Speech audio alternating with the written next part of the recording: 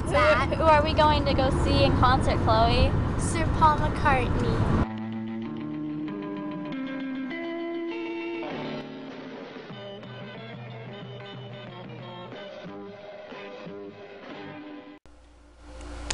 Hey guys. Um, so today is August 3rd. It's August 3rd. Um, 2011. I think this is probably the first time I've ever gotten this a date right in one of my videos. But anyways, um, yeah, hey, how's it going? Sorry my hand itches. Um, so, as most of you know by now, if you're friends with me on Facebook or if you've watched any of my past videos, I went to see Paul McCartney, I think, two nights, four, three nights ago? Three or four nights ago. And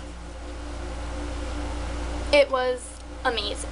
Okay, so I have waited two years of my life. I've been into the Beatles for about two years now.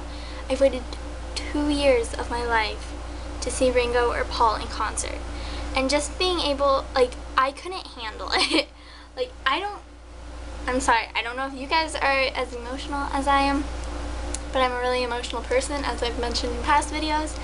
And, like, just when he stepped on that stage, I was just, like, in tears because it was, like, it was mind-blowing that I was in a room for someone who had, well, not a room, but a stadium of someone who has done so much for my life and is so big. And it was just, it was just a really big experience for my life. And he, I, I cried a lot there.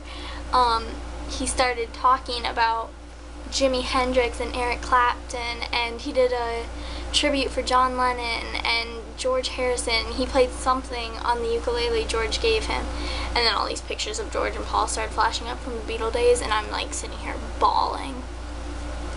And like just to know that he's done so much in life, like I can't even imagine having the life he's had. He's an amazing person, and just being able to do what he's done, it freaks me out a little bit because I don't think I could do that.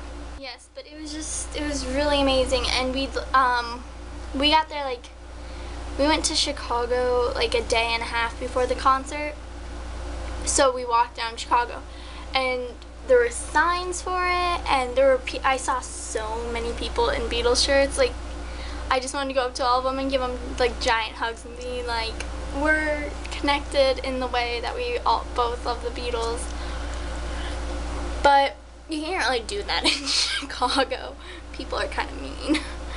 But, um, yeah, it was just an amazing experience. And if you ever get the chance to see him in concert, I would suggest going because that is something you will want to do in your lifetime. See Paul McCartney in concert. And I'm I'm so thankful that I was able to do it because I didn't know if I was ever going to be able to see him in my life.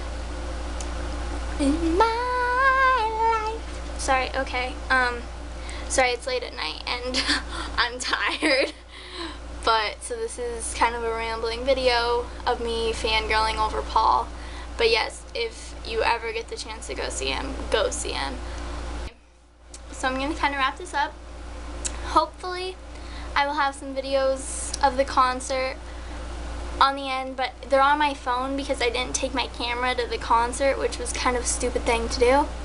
But yeah, so my phone didn't get very good, and we were kind of far away, but my phone didn't get, like it didn't see very far.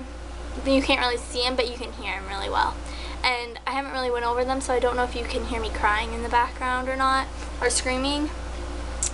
So yes, there will either be videos at the end of this or this is the end. So goodbye my friends. See you next week.